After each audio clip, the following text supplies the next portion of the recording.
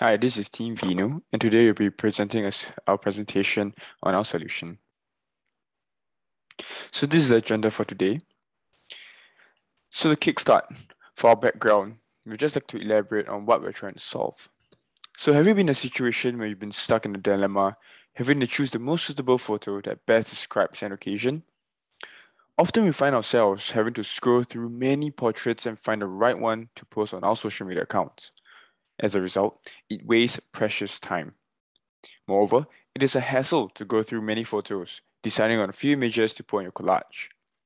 So the question is, why isn't there a solution to cycle through the shots, recommending the pictures with the brightest smiles, the happiest moments, or the most scenic view? So our aim is to develop a web-based solution that automates this selection process by auto-suggesting photos for consumers based on classification labels. Doing so would minimize the time taken searching for the most suitable photo to post on your social media account. So this is our tech stack that we're using to develop Vino. So for our market strategy, uh, we, we broke down to the four different P's, price, promotion, place, and product. Mainly, for our price, it's free tier, and our focus is to grow the user base uh, before implementing tier-based analysis for the images. Secondly, for the promotion of our product, is to use social media as a free platform to broadcast our product to social to social influencers and attract their attention. For the product itself, as it's easily accessible, Vino is then uh, able to have a low barrier entry into the market and because it's developed by React, a cross-platform uh, solution, the it's able uh, people are able to utilize the solution across various machines.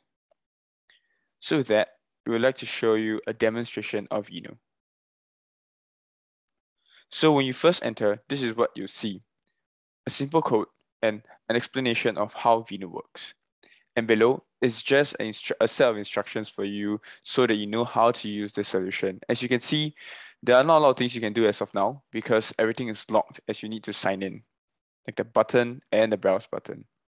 So let's carry on to sign in. So you, had, you can sign in through an email and password method, or in the future, we'd like to implement our Google sign-in. So for now, let's just go into the registration page. So over here, you can key in your first name, last name, your own personal details, and set your own password. We've already done this, uh, but just to show you some data validation, you can put in information right here, and we've done our. Uh, we've done our uh, form validation to ensure that there is no uh, cross-site scripting or any form of security breach. So let's just sign into our account that we already have.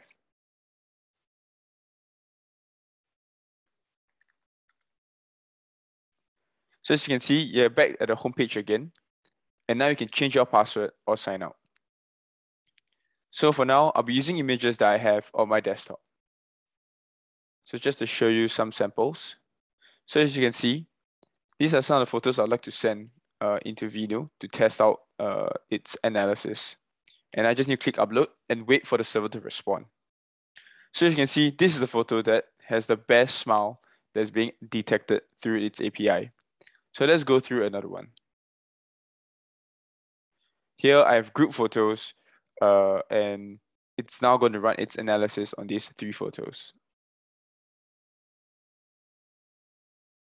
As you can see, this is the best photo for me to post on my social media account. If you're unsure on how to do this, you can always follow the step-by-step -step process on the left-hand side. And with that, this comes to the end of my sharing. Thank you.